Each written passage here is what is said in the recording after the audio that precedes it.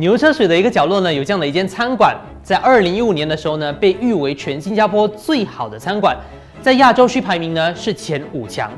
这间餐馆的主人江正成大厨呢，他本身两度被誉为印度洋呢最好的一位厨师，当然呢，还有在一百五十强当中呢，他也是位居其中一位的。今天我们有幸来到他的餐馆，马上来看一看在厨房工作的他是怎么样的。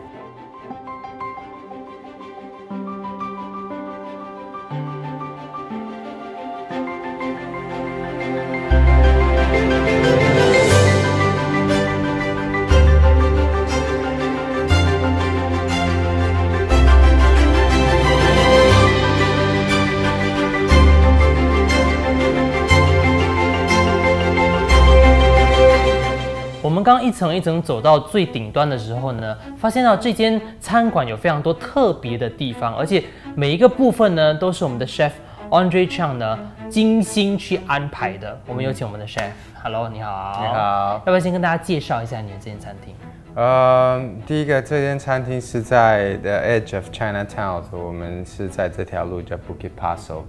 呃，那 Bukit Paso 它本身就是一个一个有很 arty 啊的的一一条一条街嘛。嗯。呃，我知道 Bukit Paso 的意思就是 The hills of Potter。嗯哼。这跟我自己的本身的兴趣就是做很多的的陶艺。呃，有一个直接的关联，所以我一开始走在这条街上，我就很喜欢这条街的一个气氛，嗯，然后决定在这条路上有一个自己的餐厅，嗯，听说你还特别在你的餐厅外面呢种了一棵很特别的树，新加坡很少地方能够看到橄榄树，对，为什么？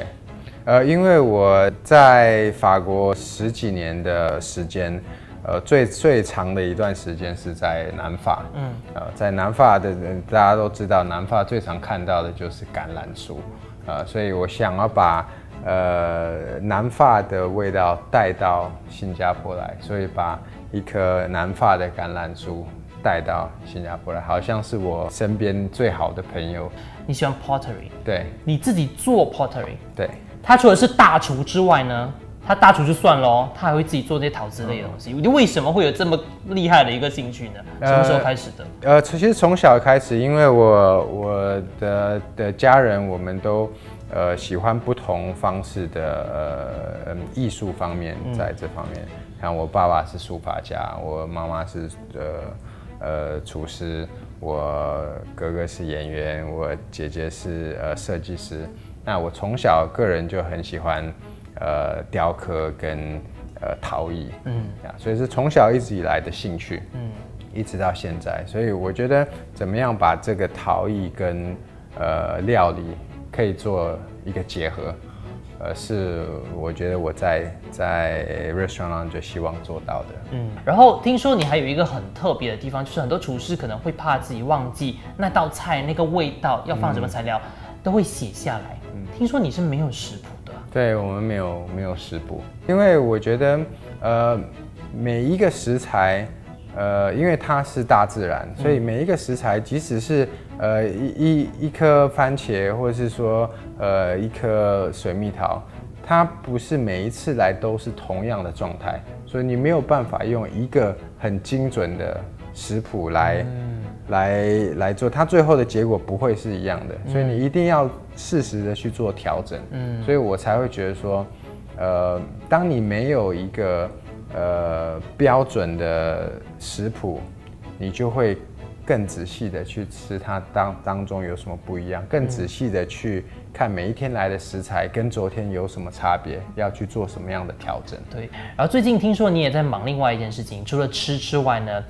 当然这一部分也算吃了，就是喝的部分，你也好像开始在钻研了。对。呃，其实我们一直从几年前，嗯，呃，一直在做一个一个一个很大的突破，就是呃发酵汁，嗯，呃，那发酵汁，呃，听起来对我们来讲比较遥远，因为我们从来不管是在呃世界最好的餐厅啊，或者是说呃呃其他的的角落，很少发现这样子的东西，因为呃如果我今天不喝酒。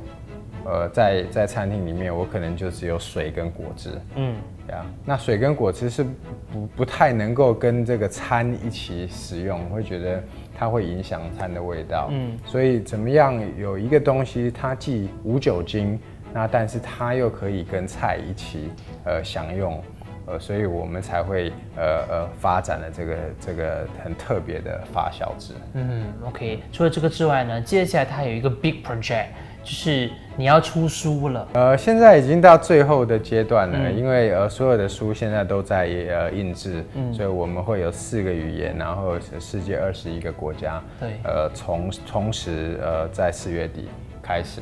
呃，所以五月开始就会有一个世界的的巡回，嗯，呃，在讲呃这本书《Outer Philosophy》，嗯，呃，八角哲学。对，我们非常期待这本新书。我们今天也非常感谢你抽出时间，谢谢你，谢谢，谢谢，谢谢。